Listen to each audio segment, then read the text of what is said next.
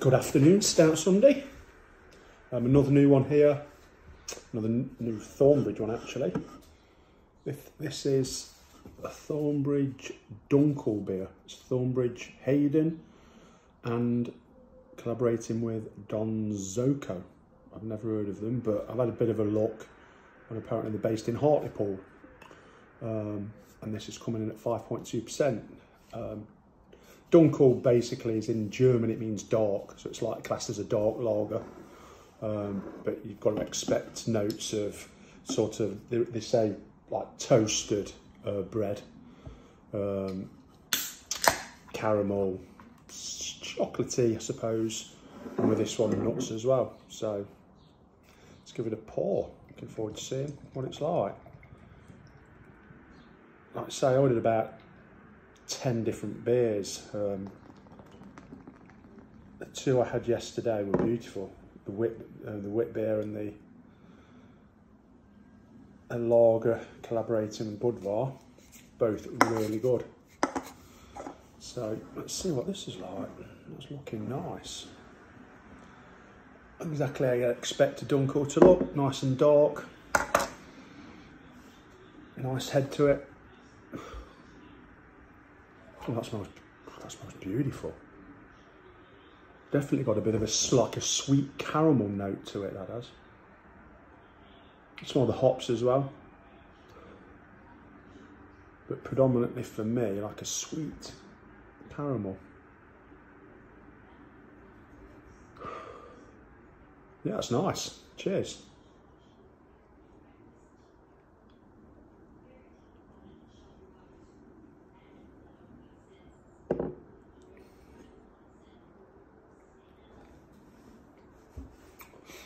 That's another really nice beer. That's beautiful. That's really nice. This was in the fridge all night, and I've just took I've taken it out of the fridge for about 30 minutes because it's saying here between five and eight. So I would say I'm closer to the eight, or even a tiny bit higher. But that to me is really nice. So.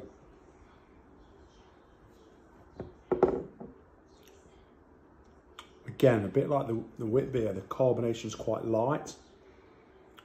Um, I don't know what notes I'm getting there.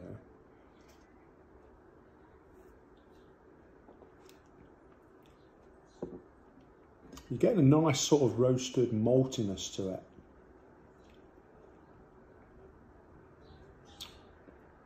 It smelt more sweet to me. Whereas there was a hint of sweetness and there was a hint of that caramel there, there as well.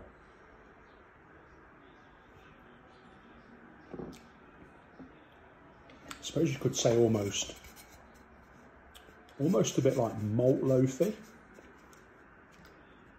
Don't let that put you off, not overly. Just slight bit, sort of, I understand what they say with like toasted bread or like a brown bread, sort of malt, marmite, um, malt loaf sort of notes to it, but it's a cracking,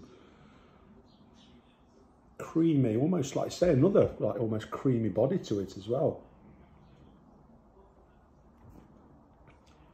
Absolutely beautiful. It's the first time I've ordered from Thornbridge and what I'm finding with them is I'm actually enjoying more of their different style of beers than their actual IPAs. Um, nothing, not there's anything wrong with their IPAs, but I just think they're just very. I think it's because there's so many IPA, IPAs about, and we're almost spoilt with them. I just I'm finding that up to now, like I say, this is the third different style, and I'm enjoying the different styles more. So for me, this is absolute another double thumbs up and another cracking beer. If you get the opportunity to try it, try it. Cheers.